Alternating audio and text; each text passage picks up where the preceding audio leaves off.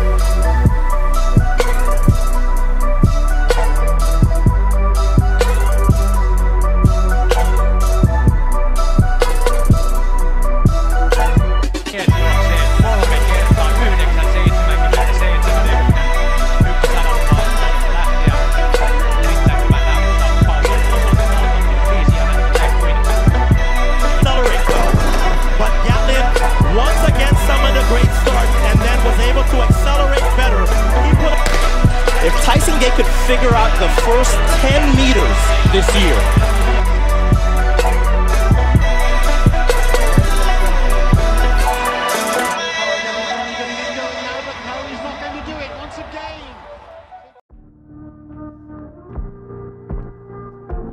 Call it how it is.